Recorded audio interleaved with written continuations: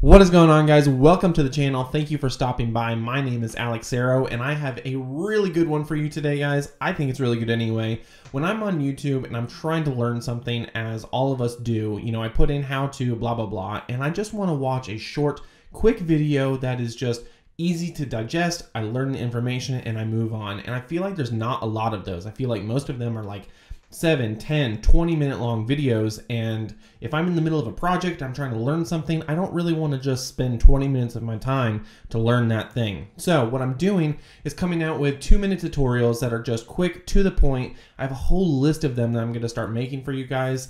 And yeah, this is going to be the very first one. So today we're going to be talking about the vertical lines of your real estate photography photos. Now, if you are a veteran at all, or even if you're just starting, you might know this, but you're always supposed to have perfect vertical lines. Like, like this line right here, that should be perfectly vertical.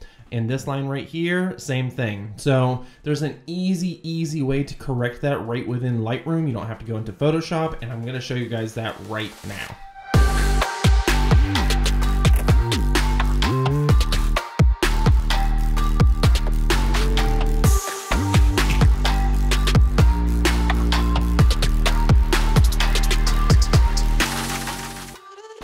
All right, guys, so let's go ahead and get into it. I'm just gonna do one photo for you. I feel like it's gonna explain it pretty well, and we don't wanna take up too much time here. This is a two minute tutorial after all. So what we're gonna do is in the editing section, I've already done all of my color edits, but down below, we need to go to our geometry section.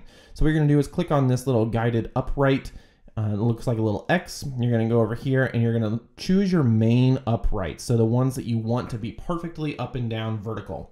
And what you're gonna do is hover over it so it'll show you, it'll magnify on a section. You click there and then you drag down to kind of the lowest point you can and you click right on another section. And you're gonna move over here, the other line that you want to be vertical. Go ahead and do the exact same thing and boom that just made the whole thing perfectly parallel with those two lines and then sometimes what you'll want to do is add a third or a fourth one for horizontals and we can just go ahead and do that real quick so grab here and we want it to be the same right about there. You can tell it moved it just slightly, and then maybe something else you would want to do is grab right here where you can see a point and move over uh, right about there is probably good. And there you go. Now you see we have these four lines. It's going to make the whole thing perfectly symmetrical. It's going to make the geometry of it look very nice and clean. When you're doing these real estate shots, you really want to make sure that these lines look really good. You don't want the awkward like looking down or looking up or, um, you know, it just doesn't look quite right. And this is a very easy way to fix that. Alright guys, that's going to be it for this very first two minute tutorial. Thank you so much for watching and stopping by. Let me know in the comments below what you think I should do for another tutorial. Maybe I'll end up doing it. So that is going to be it. Don't forget to subscribe. I appreciate it and I will see you in the next one. Peace.